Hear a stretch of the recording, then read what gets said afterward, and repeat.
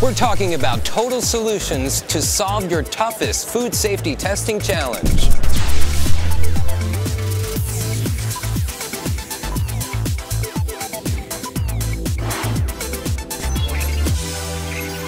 We're talking about food safety here in the Thermo Scientific exhibit. We have had capabilities for years helping customers and, and quite an offering that we've developed, real solutions in food safety testing. Every single time when such a quick matter development need arises, we, we really need to think quite complex because every single uh, contamination is quite complex problematic.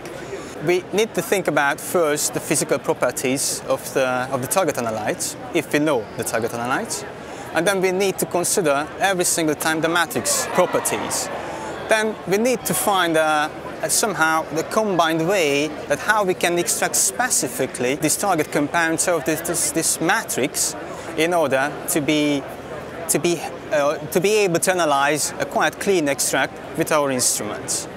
So this is the first part of the method development, to find the proper sample preparation technique. At Thermo Fisher Scientific we have a lot of quite good tools for this purpose. So the next is each to find the instrumental method, the proper instrumental method. Again, with the Thermo Fisher Scientific we have a lot of options and also for the carbendazim crisis we had a lot of options. For detection we chosen a triple quad uh, mass spectrometer and this combined with that online sample preparation technique uh, provided us not just high precision, higher than normal, this precision, but also quite a lot of saving in time. This has many benefits compared to the conventional and offline methods, just like the QuEChERS method or just like the dilute and shoot technique methods. What we developed for the carbendazim crisis combines benefits of these both methods, the QuEChERS and the dilute and shoot techniques. So all the methods what we develop in the food safety response centers are complete methods, it's really a complete recipe.